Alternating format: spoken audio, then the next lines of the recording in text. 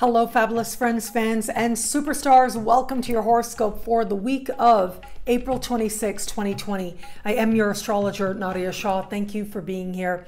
Now, before I jump into this week, I do want to take a little bit of a step back. If you'll remember last week, we talked quite a bit and we talked about how important it was to pay attention. What is happening in your own life, certainly, but also for the collective because it is the events or was the events that took place last week that not only spoke to larger themes that are going to come up for us as a collective once we get into 2021.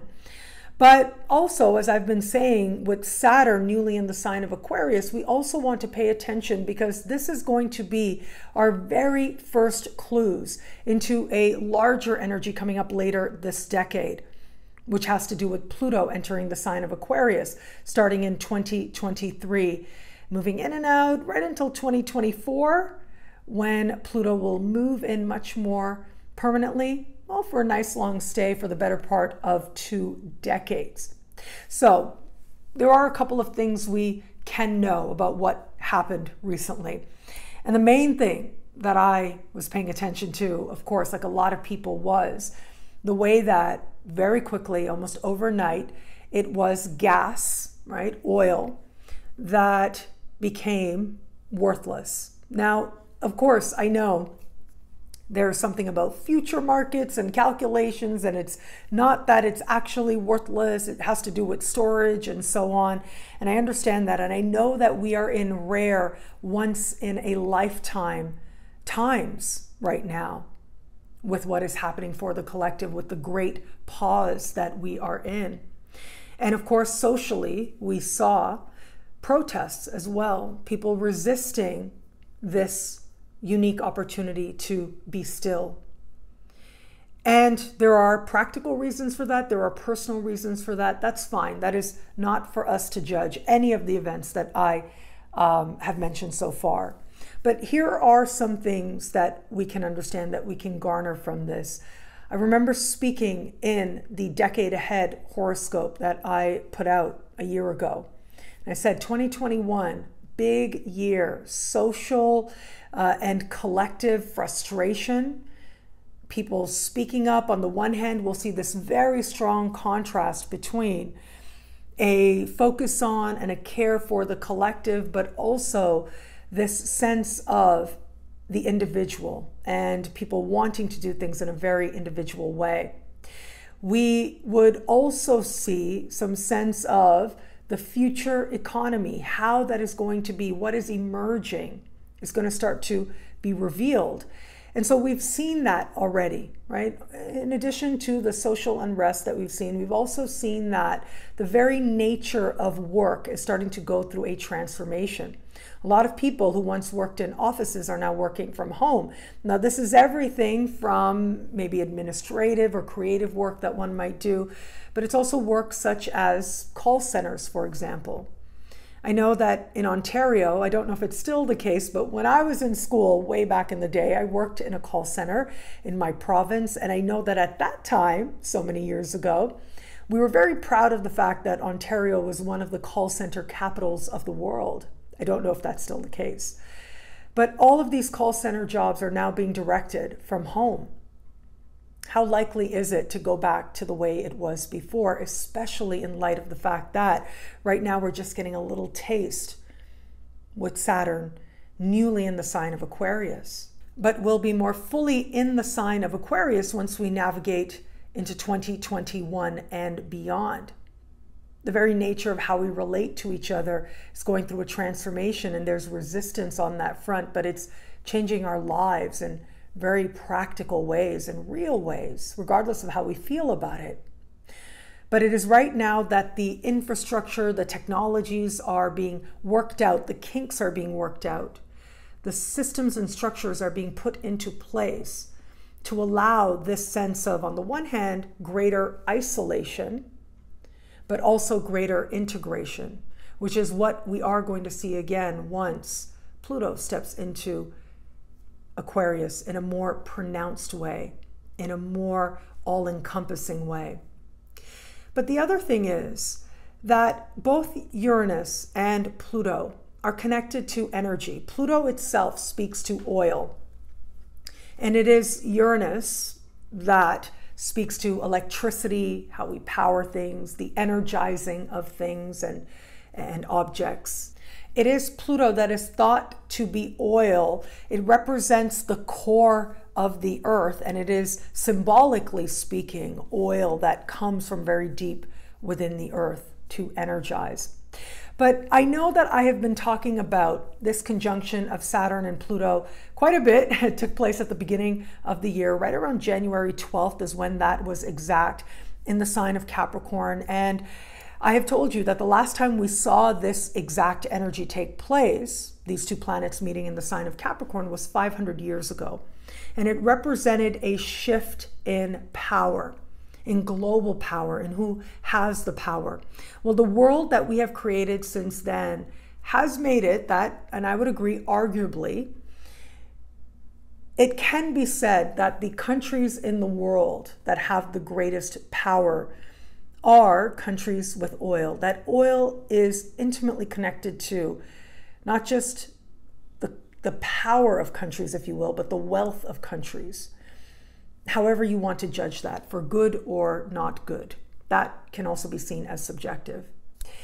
And so then what happens when the core, the root of power of so many very powerful places and cultures and influences in the world is no longer worth anything? And I do think that it may very well be this shift of energizing the world that oil has represented, of powering up the world that oil has represented. As it goes through a shift, this very well may be part of what shifts global power, our understanding of who has the power.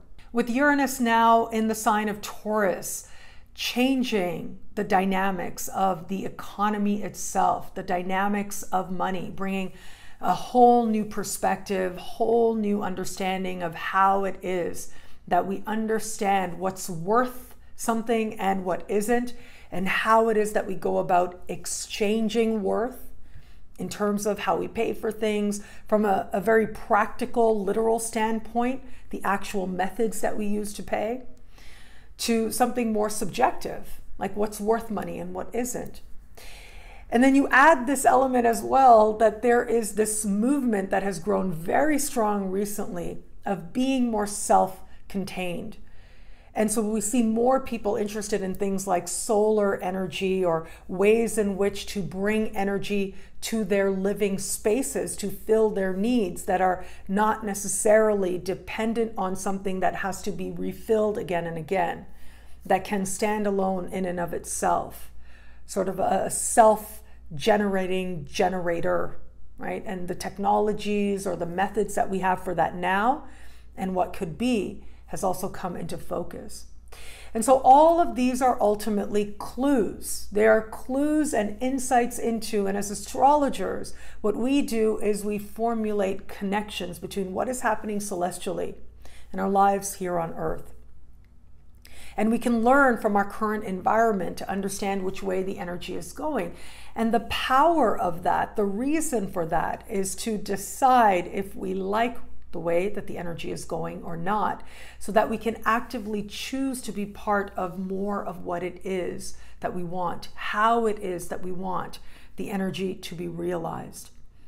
And in this way, astrology becomes a type of empowerment and a, a, tool, really, to better exercise our free will.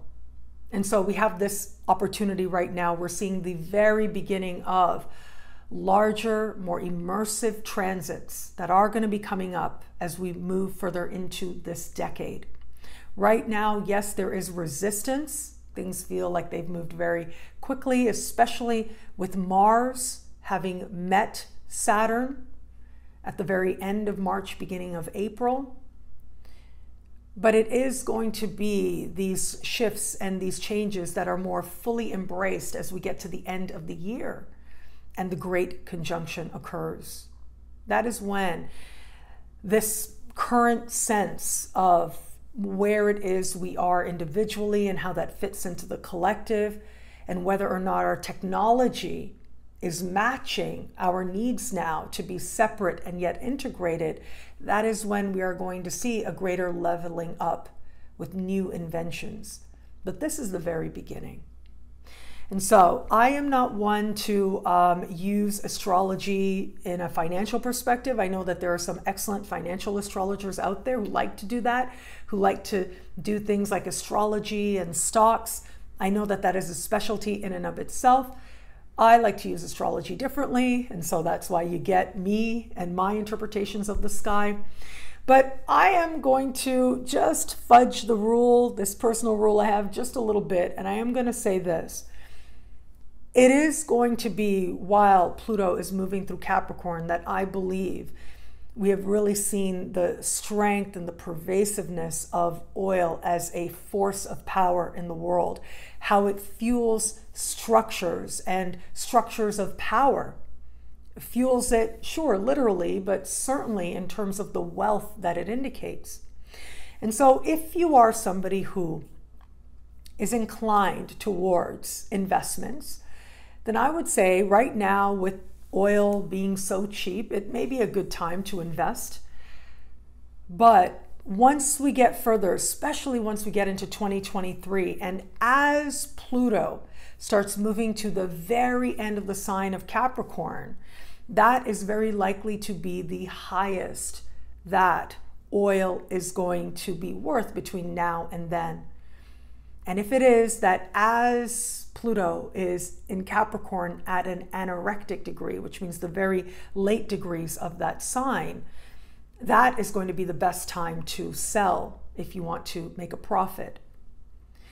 Because once Pluto goes into Aquarius, we are going in a very different direction. And this idea of people being more self contained, finding sources of energy to energize everything that they need, well, it is going to shift very dramatically. And we will especially see this being embraced, these new technologies to bring energy being embraced that much more fully once we get into 2026 and 2027 and Pluto trines Uranus.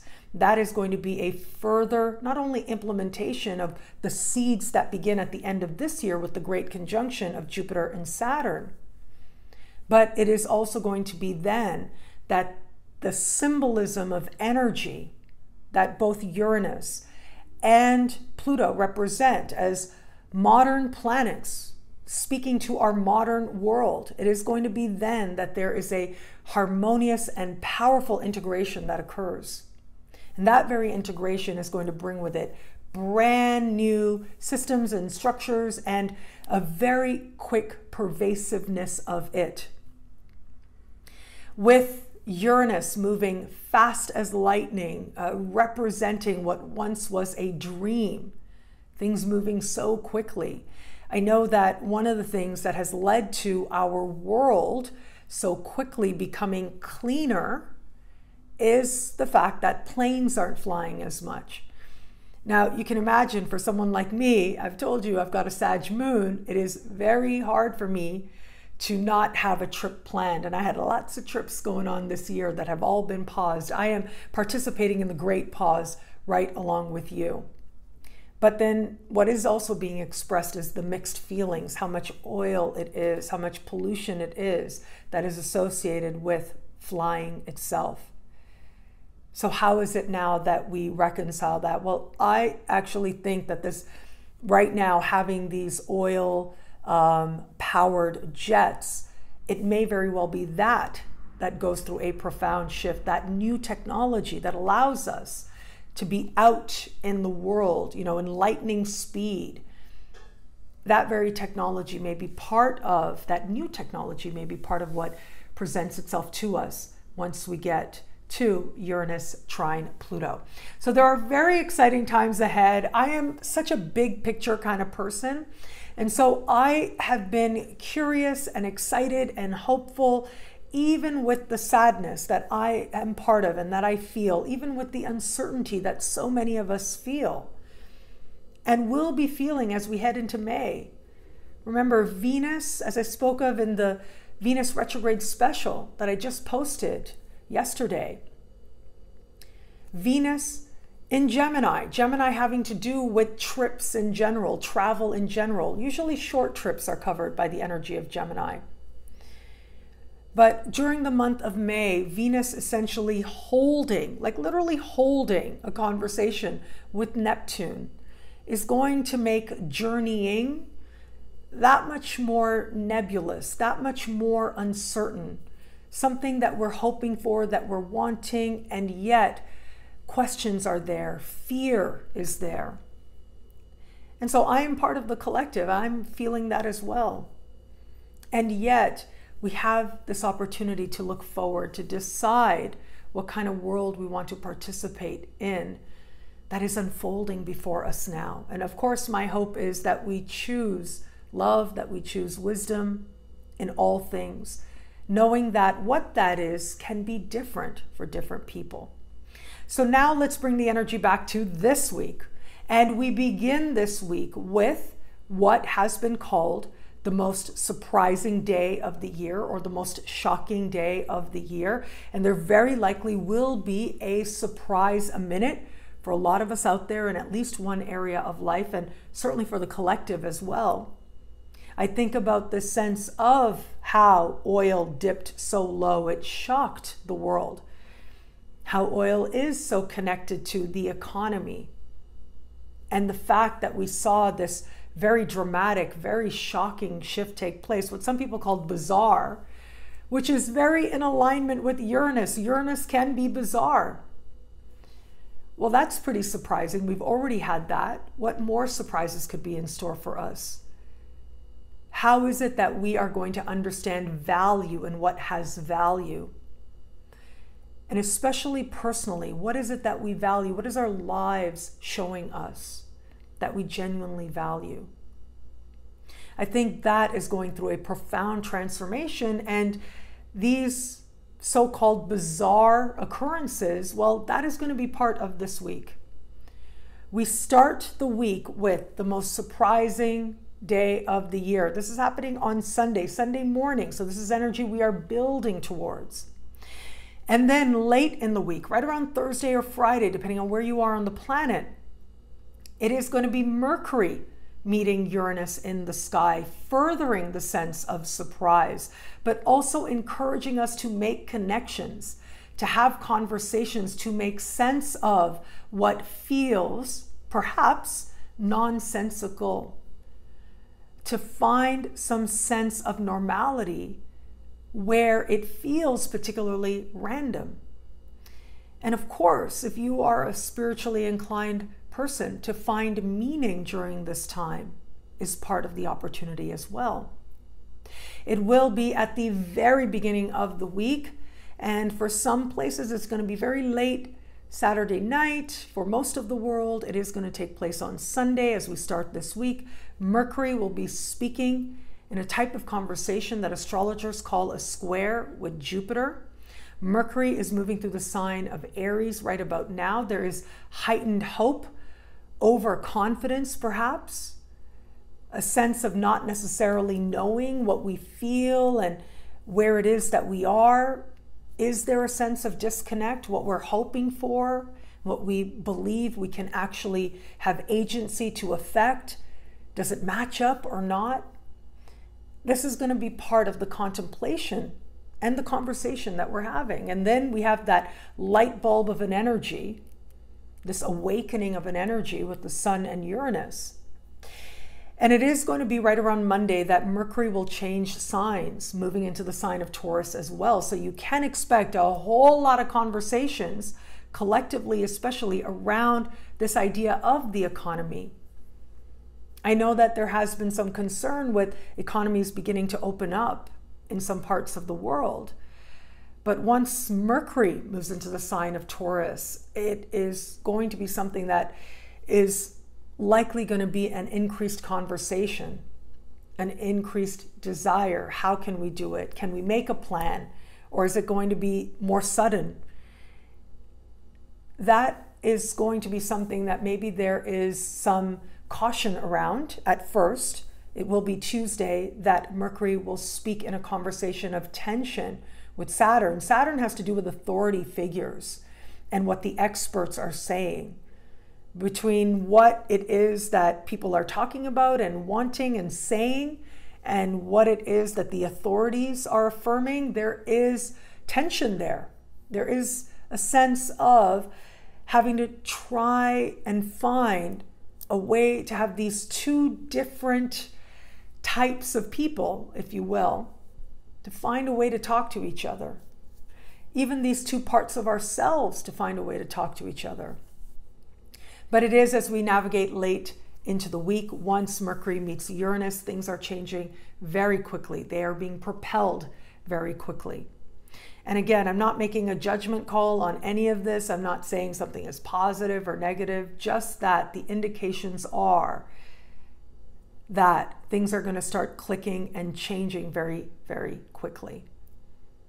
And that what continues to occur in the world will likely have an erratic and, yes, bizarre quality to it. But at the same time, considering we're coming up to May, all that nebulous energy that can't be good for viruses. As people start traveling more locally, we are going to see the fear of what has been occurring continue. And we're likely going to see people continue to socially isolate in some way or another throughout the month of May, for sure even as economies start opening up, even as people start saying, yes, this is what we want, but what are people actually doing? That may end up being a different thing. What I love about this week for us, and there's always something to love, certainly. Well, I do love how I, for one, am of the belief, and this may be the Aquarian in me, but I think life sometimes doesn't have enough surprises. Yes, surprises, some are better than others. And as much as the energy can be shocking, it can also be delightful surprises as well. Again, depending on where this is falling in your chart, depending on how you choose to engage this energy, where it is that we are willing to be creative, where it is that we're willing to think towards the future, to think in an inventive, ingenious way we're able to find truly creative, out of the box solutions for how we navigate this time. And it is these very solutions that not only can promise a sense of progression, but also genuine optimism as well. In an instant, we may start to feel different, feel more free, feel more liberated, feel more excited we are leaping into the future, and we'll be talking about that. Chances are in the media, there's going to be new discoveries, new technologies that make us very excited about what's ahead. And it is exciting. The future is calling, it is being indicated now. And as always, my hope is that as part of that, we collectively choose to make it a truly wise and loving future to arrive at. Well, thank you so much for watching. What do you love about this week? Let me know in the comments below. As well, I would love to hear what you think about what is coming up in the bigger picture as part of the decade ahead. How you feel in your own life that this week gave you some clues, some harbinger of what is coming up for you in 2021 and beyond. I'd love to read your stories. And of course, if you want to know how all of this speaks to you in your sign, log on to nadiyashah.com. Sign up to be one of my superstars. Superstars get expanded exclusive video scopes each and every week, unlimited access to special horoscopes and more. All of this in the superstar space. I look forward to meeting you there. Special horoscopes are up, including Saturn special horoscopes, Venus retrograde special horoscopes, and they are available for download on my website as well, nadiyashah.com. So, Saturn and Aquarius up now. That is a deep dive into what this means for you and your sign. And it was yesterday, as I mentioned, that I posted on my YouTube channel the Venus retrograde for the collective as well as preview horoscope. So have a look at that. It does give you insight into what we can look forward to in this summer of love but also, the preview horoscopes give you insight into what this Venus retrograde season is going to mean for you in your sign. I hope you absolutely love it. I do have my books wherever books are sold. You can get one of my books, Prayers to the Sky. Thank you so much. When it came out, it was a number one new release for as long as they allow uh, new releases, the new release chart, and it was it stayed in the top five. That was really exciting. So thank you for that. And the Body and the Cosmos was also a number one new release when it came out as well.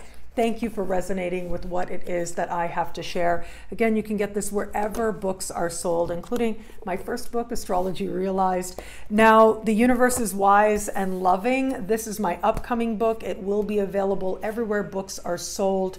Um, August 22nd, so way into the summer. Uh, but advanced copies with free gifts worth over $200, uh, that is available on my website, nadiyashah.com. And this is all about the nodes of the moon. It's volume one, the nodes of the moon, where I go through each of the signs and houses in the first part, and then the nodes being aspected by planets in the second part. Uh, and we look at the philosophical assertion that the nodes make, uh, why I say the universe is wise and loving, and so much more in this book. And I, again, I hope you love it. And yes, if you get it, you get all kinds of free gifts worth over $200. As a side note, I do want to take one second to thank my friend, Jessica Lanyadoo. She sent me a copy of her book, Astrology for Real Relationships.